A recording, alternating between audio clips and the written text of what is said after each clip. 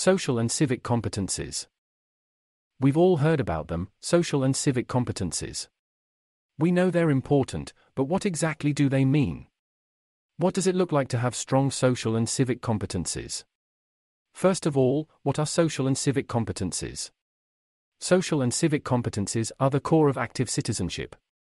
They are the building blocks for a community, and without them, our society wouldn't function. Social and civic competences are the skills, knowledge, attitudes, and values that enable individuals to participate in society.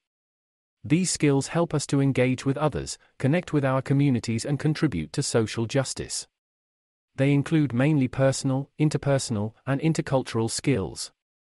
The European Commission has identified as core and fundamental social and civic competences the ability of being aware of rights, freedoms, and responsibilities, being able to take decisions on complex issues, being able to engage in dialogue with others, understanding one's own identity, working together with others, making informed choices. Social and civic competences are closely related to global citizenship.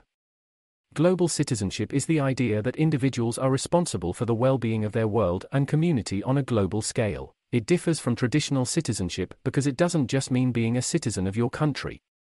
It defends the idea that we are all citizens of the world, no matter where we live.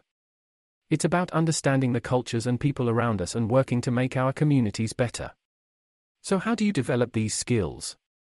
In order to develop your social and civic competence, you need to be aware of other people and their needs, to improve your intercultural knowledge and your ability to understand and communicate with people from different backgrounds, and to know what your rights and responsibilities as a citizen are. Are you ready to be a citizen with high social and civic competence?